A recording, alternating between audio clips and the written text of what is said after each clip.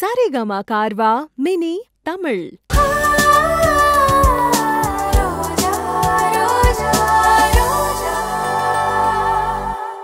நீ சொல்ற மாதிரியே அம்மா கிட்டயும் கல்பனா கிட்டயும் சொல்லிடுறேன். ஒண்ணும் இல்லாத விஷயத்த ஊதி பெருசாக்கிடுவோம். இது என்ன சாதாரண விஷயமா? நான் பாத்துக்கிறேன். இந்த விஷயத்திலயும் கோட்டை விட்டுறாதீங்க. நாளைக்கு அந்த வீட்ல பெரிய பிரளயமே உருவாகணும். புரியுதா? சரி சரி. புரியுது புரியுது. நான் பாத்துக்கிறேன்னு சொல்றேன்ல. பொழுது விடிஞ்சதும் அவங்க ரெண்டு பேருக்கும் இருக்கு பஞ்சாயத்து. ம். எப்ப கிளம்பி அங்க போனாங்க? ம், நைட்டு பன்னெண்டு மணி வரைக்கும் இங்கதான் இருந்தாங்க. அதுக்கு மேலனா எப்படி போயிருப்பாங்க?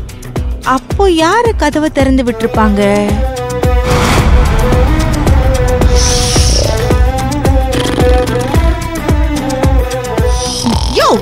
சரியான தூங்கு மூஞ்சி.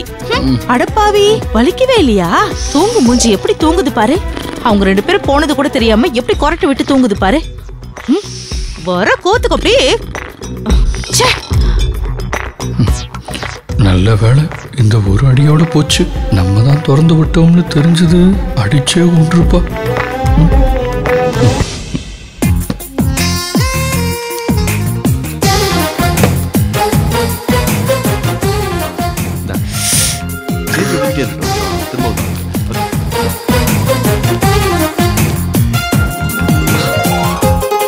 ரோஜா. இல்ல. ம்.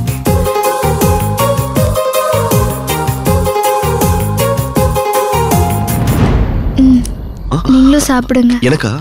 நீங்களும் சாப்பிடுங்க.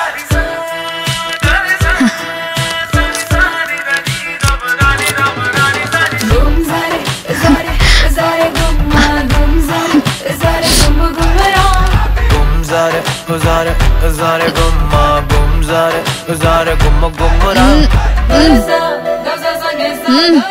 Sir சூப்பரா இருக்கு சார் ம் ஐஸ்னா ரோஜாவுக்கு ரொம்ப பிடிக்குமோ ஆமா சார் ரொம்ப பிடிக்கும். ஐஸ்கிரீம் இருந்தா சாப்பாடு கூட தேவைப்படாது.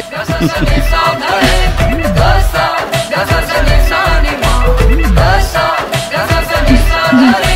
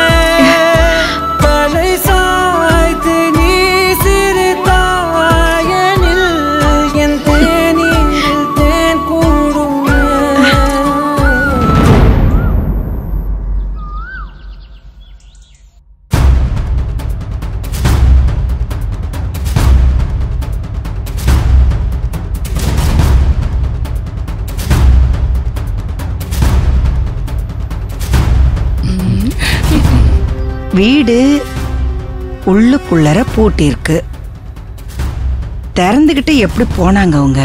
மா இங்க இருக்கிற யாரோ தான் அவங்களுக்கு கதவு திறந்து விட்டுருக்கணும். பிரதாப் அவங்க எப்படி போனாங்கங்கிறது பிரச்சனையே இல்லை.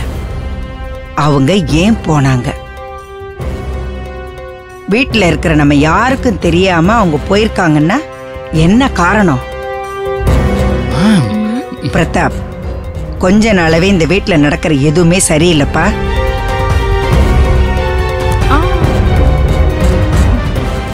கல்பனா எனக்கு மருமகளா வந்தப்ப ரொம்ப நல்ல மருமகளா இருந்தா. என்ன நல்லா கவனிச்சுக்குவா மரியாதை கொடுப்பா இந்த குடும்பத்தை நல்லபடியா பாத்துக்கிட்டா இதெல்லாம் நான் எதுவுமே அவளுக்கு சொல்லி கொடுக்கல. தன்னால அவ அப்படி இருந்தா. அவளை மாதிரி ஒரு நல்ல மருமக கிடைக்கிறதே கஷ்டம். ஆனா உங்க ரெண்டு பேருக்கும் வாச்சிருக்குது பாரு ஒண்ணு. அது சரியே இல்லப்பா. கொஞ்சம் கூட சரியில்லை. அந்த பொண்ணு அர்ஜுன் தான் தலைமையில தூக்கி வச்சுட்டு ஆடுறான்னா என் மருமகளும் அவளுக்கு நிறைய இடம் கொடுத்துட்டா. அதுங்களெல்லாம் கொஞ்சம் தட்டி வைக்கணும். அப்பதான் திருந்துங்க. அம்மா சொல்றதுல என்ன தப்பு இருக்கு? நீ அவங்களுக்கு ரொம்ப இடம் கொடுக்கற போல இருக்கு அதான் இப்ப பிரச்சனையே. இத பாரு மருமகளே. சந்திர கிரகணம் அப்போ யாருமே வீட்டை விட்டு வெளியில போக கூடாது வீட்ல தான் இருக்கணும்னு பெரியவங்க சொல்லிருக்காங்க அததானே நான் நேத்து ராத்திரி சொன்னேன். நான் சொல்லும் போதெல்லாம் சரி சரின்னு தலையாட்டிட்டு இதுங்க ரெண்டும் மேல போச்சுங்க. நாமெல்லாம் தூங்குனதுக்கு அப்புறமா பார்த்து யாருக்கும் தெரியாம வீட்டு கதவை திறந்துட்டு அதுங்க வெளிய போயிருக்குங்க. ஏன் மருமகளே? இது உனக்கு தெரியாம நடந்ததா? ஐயோ அத்தை. என்ன அத்தை இப்படி சொல்லிட்டீங்க? சத்தியமா இது எனக்கு எதுவுமே தெரியாது அத்தை. எனக்கு தெரிஞ்சிருந்தா நான் உங்களை தடுத்திருப்பேன். இத்தனை வருஷத்துல நான் எப்பவாவது உங்க பேச்ச மீறி இருக்கேனா அத்தை? சொல்லுங்க. சரி.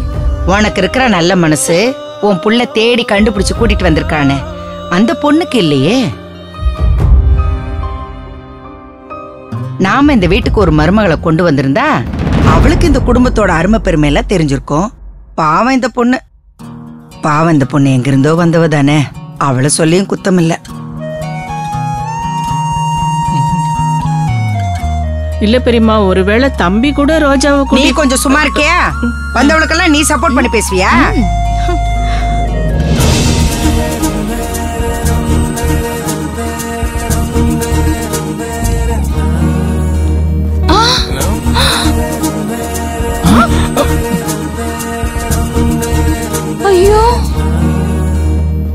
ஐயோ சரியாச்சு விடுங்க சார். என்னாச்சு ரோஜா ரோஜா ஏன் தூக்கிட்டு வர? என்னாச்சு? அர்ஜுன் அண்ணி என்னாச்சு அண்ணி? என்னாச்சு? அன்னைக்கு என்னாச்சு? என்னடா ஆச்சு? டேய், சொல்லு. என்ன? அது ஒண்ணும் இல்ல. ரோஜா கால்ல ஒரு சின்ன கண்ணாடி குத்திருச்சு. கண்ணாடி குத்திருச்சு ஒரு சாதாரணமா சொல்றேன். கண்ணாடி எடுத்தியா இல்லையா? டாக்டர் கிட்ட கூட்டிட்டு போனியா? இல்லம்மா? ஏய் என்னடா பேசுற நீ? கண்ணாடி ரொம்ப நேரம் உள்ள இருந்தா செப்டிக் ஆயிடும்டா. முதல்ல டாக்டர் கூட்டு போ. நீ. ஆமா. பெரியவங்க சந்திரகிரகண நேரத்துல வெளியில போக கூடாதுன்னு சொன்னாங்க. பெரியவங்க பேச்ச கேட்கணும். இல்ல சுயமாவாவது புத்தி இருக்கணும். இது ரெண்டு இல்லைன்னா இப்படிதான். ஐயோ பாட்டி. கிரகணம் முடிஞ்சுதான் நாங்க வெளியில போனோம். ஆ அச்சச்சோ. கிரகணம் முடிஞ்சதுக்கு அப்புறம்னா பன்னெண்டு மணிக்கு மேலயா? அதுக்கு மேல ஏன்பா வெளியில போனீங்க? அம்மா அது அது அது? என்ன அர்ஜுன்? என்ன போய் சொல்லலான்னு யோசிக்கிறியா? நான் இதுக்கு போய் சொல்லணும்? அம்மா. ரோஜா ஐஸ்கிரீம் சாப்பிடணும்னு ஆசைப்பட்டா. இந்த நேரத்துல வாங்கி தர முடியுமான்னு என்கிட்ட சேலஞ்ச் பண்ணா. அதான் கூட்டிட்டு போய் வாங்கி கொடுத்து கூட்டிட்டு வந்துட்டேன். என்னது? அண்ணா? நீ கூட்டிட்டு வரல. தூக்கிட்டு வந்திருக்க. கால்ல கண்ணாடி குத்திருச்சு நடக்க முடியாம கஷ்டப்பட்டா அதான் தூக்கிட்டு வந்தேன். ஐயோ அம்மா சேஃப்டி பின் இருக்கா? அக்கா. ஆ, என்கிட்ட இருக்கு. எதுக்கு? கொடுங்க சொல்றேன். இந்தாங்க தம்பி. என்னடா? அம்மா கண்ணாடி எடுக்க போறேன். ஏய். நீயா எடுக்க போற? அம்மா நீங்க பதட்டப்படாதீங்கம்மா. நானே கண்ணாடி எடுக்க ட்ரை பண்றேன். முடியலன்னா ஹாஸ்பிடல் கூட்டிட்டு போறேன். சார் சார் வேண்டாம் சார். நானே எடுத்துக்கிறேன் சார். பேசாம பார்த்து.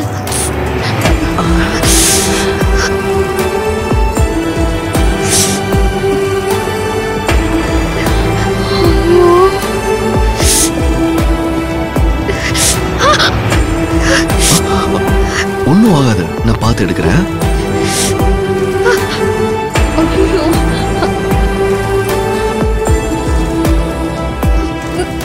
ஏய் அர்ஜுன் நீ பாட்டுக்கு உன் பொண்டாட்டியை கூப்பிட்டுட்டு நைட்ல வெளியில போயிருக்க? ஊரு கெட்டு போய் கிடக்குடா. ஏதாவது தப்பா நடந்து போச்சுன்னா என்ன பண்றது? இத பாரு இந்த மாதிரி முரட்டு தைரியத்தை முதல்ல நீ விடு.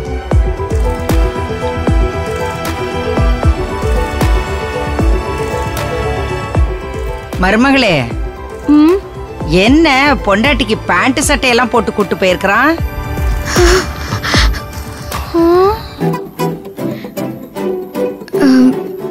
எனக்கு இந்த ட்ரெஸ்ஸை போட்டு பார்க்கணுன்னு ஆம், அர்ஜுன் சார் தான் ஆசைப்பட்டாரு பாட்டி.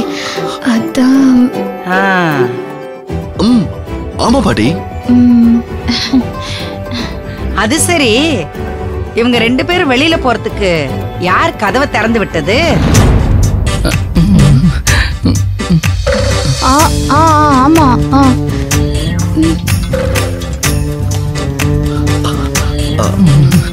நாங்க எப்படி போனோன்னு பாலு மாமாக்கு தெரியும். ஏன் அவர் சொல்லலையா?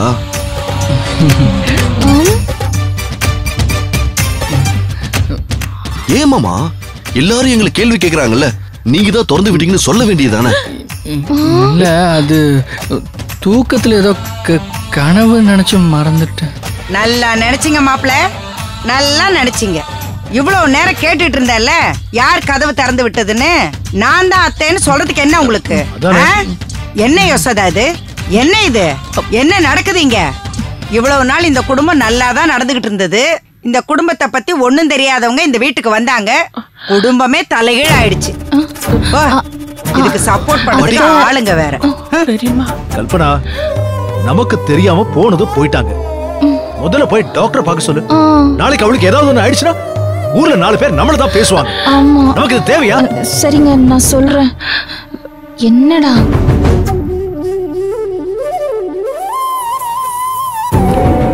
கல்பனாம்மா அர்ஜுன் தம்பி தான் ரோஜாவை நல்லா கவனிச்சுக்குது இல்ல மத்தவங்க பயமுறுத்துற மாதிரி ஒண்ணும் ஆகாது. நீங்க ஒண்ணும் கவலைப்படாதீங்க.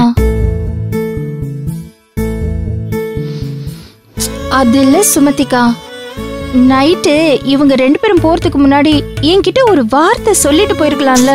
அப்படி சொல்லியிருந்தா அத்தை இவ்வளவு பேசுறதுக்கு நான் விட்டுருக்க மாட்டேன்ல. சாரி அத்தை. பரவாயில்ல விடுமா. இந்த வயசுக்கு ஒரு வேகம் இருக்கும். ஆம், இருந்தாலும் மத்தவங்க தப்பா பேசும்போது என் மனசுக்கு ரொம்ப கஷ்டமா இருக்கு ரோஜா.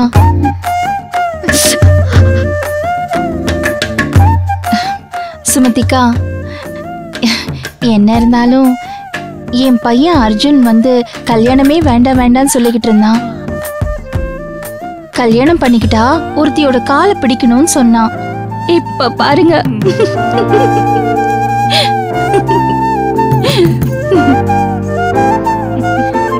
நல்ல புள்ள. அம்மா கொஞ்ச நேரம் எல்லாரும் உள்ள போறீங்களா. சுமரியா. சரி நீங்க யாரும் போக வேண்டாம். நாங்களே போறோம். போங்க. ரோஜா வா. சார் டே பாத்துடா. கம். பாத்து. இரு இரு. நீ ஒண்ணும் கஷ்டப்படாத. நானே தூக்கிட்டு போறேன்.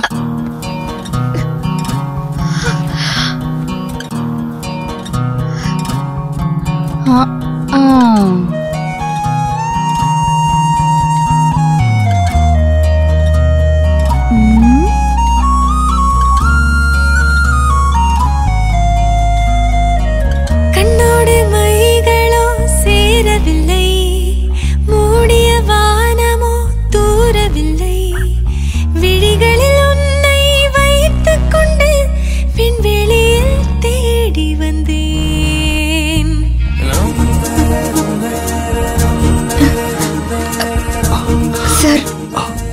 ரோஜா?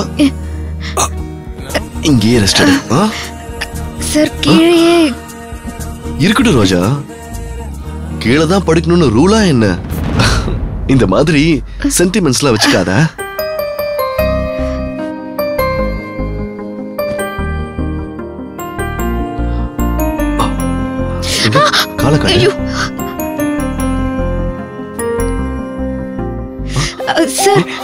இரு இரு.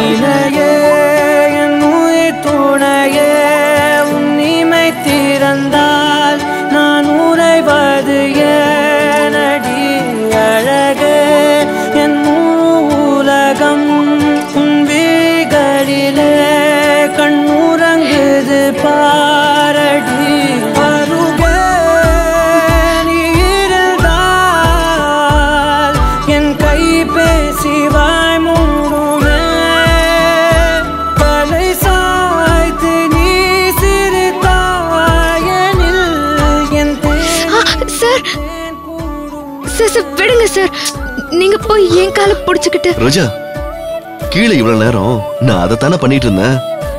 அதுக்கு தானே அம்மா கூட கிண்டல் பண்ணாங்க.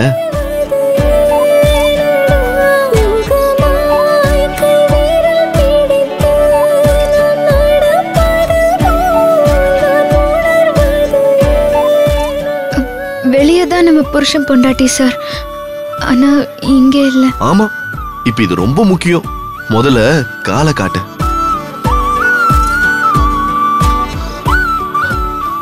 காலை பாரு இப்படி கண்ணி போயிருக்குன்னு. போலீஸ்காரன் அந்த அடி அடிச்சிருக்கான் ஒண்ணும் ஆகாத.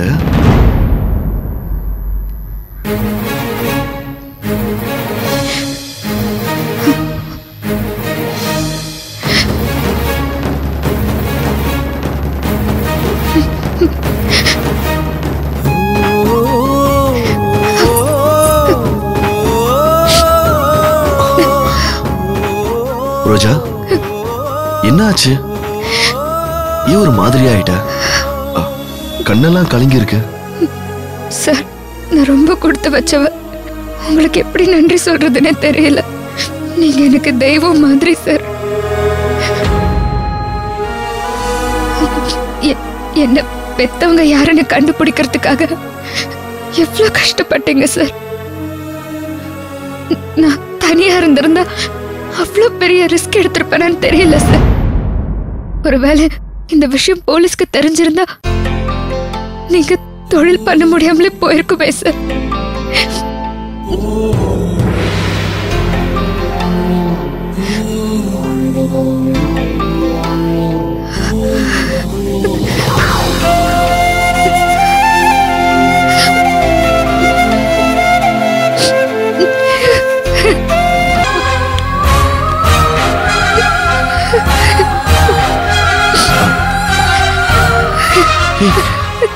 ரோஜா முதல்ல இந்த மாதிரி எமோஷன் ஆகிறது நிறுத்து. எனக்கு இந்த சென்டிமெண்ட்ஸ்லாம் ஒத்து வராத. உனக்கு நல்லது செய்யணும்னு தோணுச்சு. அதான் இவ்வளவு தூரம் ரிஸ்க் எடுத்தேன்.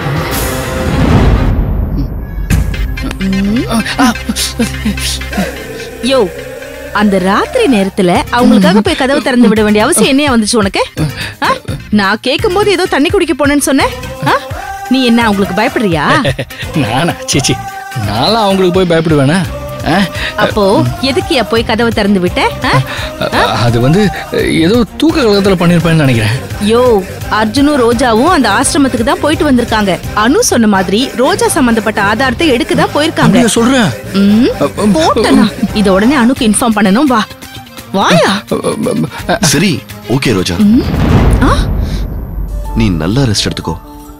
ஆசிரமத்துல இருந்து முக்கியமான ஆதாரம் எல்லாத்தையும் நாம எடுத்துட்டோம். உன் சின்ன வயசு போட்டோவும் இதுல இருக்கு. சார்? இந்த போட்டோவை வச்சு என் பேரண்ட்ஸை கண்டுபிடிச்சிடலாம்ல சார்? கண்டிப்பா. இந்த போட்டோக்கு பின்னாடி தான் நீ ஆசிரமத்துக்கு வந்த தேதி எல்லாம் எழுதி இருக்கே இதை வச்சு நீ எந்த குடும்பத்தை சேர்ந்தவன்னு ஈஸியா கண்டுபிடிச்சிடலாம்.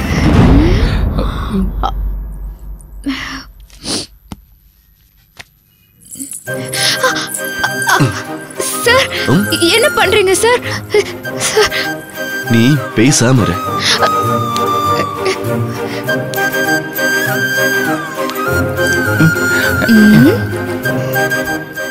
யோ அங்க பாரியா? எவ்வளவு அழகா நெட்டி எடுத்து விடுறான்னு இத்தனை வருஷத்துல ஒரு நாளாவது நீ எனக்கு கால் அமுக்கி நெட்டி எடுத்து விட்டுருக்கியா? ஐயோ அதுவா முக்கியம். அவங்க என்ன பேசுறாங்கன்னு முதல்ல கேட்போம் பேசாம இரு. சார். ரொம்ப தேங்க்ஸ் சார். நீங்கள் எனக்காக இவ்வளோ தூரம் வந்தது பெரிய விஷயம் இல்லை கல்யாணம் ஆயிட்டா என்னைக்காவது ஒரு நாள் பொண்டாட்டி காலை பிடிக்க வேண்டியது இருக்கும்னு இத்தனை நாளாக கல்யாணம் பண்ணிக்காமல் இருந்தீங்கன்னு அத்தை சொன்னாங்க. அதையும் மீறி எல்லாரும் முன்னாடியும் என் காலை பிடிச்சிட்டிங்களே சார். என்ன பண்ணுறது உன்னால் நடக்க முடியல. அதனால தூக்கிட்டு வந்தேன். உன் காலையும் பிடிச்சேன். ஆனா ஒண்ணு ரோஜா என் கொள்கை கொள்கையில நான் உறுதியா தான் இருக்கேன். பொண்டாட்டிக்கால பிடிக்க மாட்டேன்னு தான் சொன்னேன். நீ இன்னும் எனக்கு பொண்டாட்டி ஆகலையே.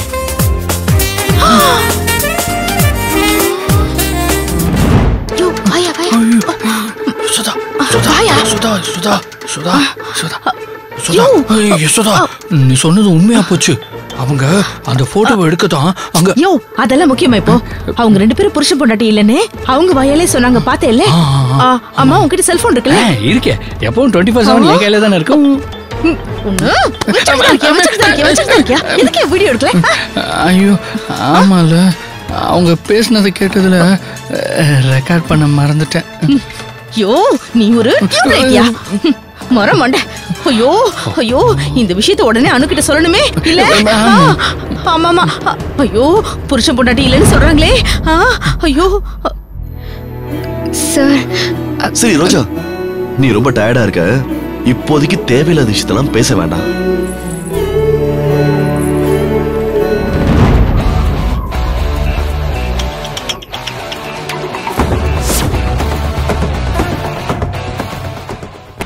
எவ்ரிவான் நான் உங்கள் ரோஜா.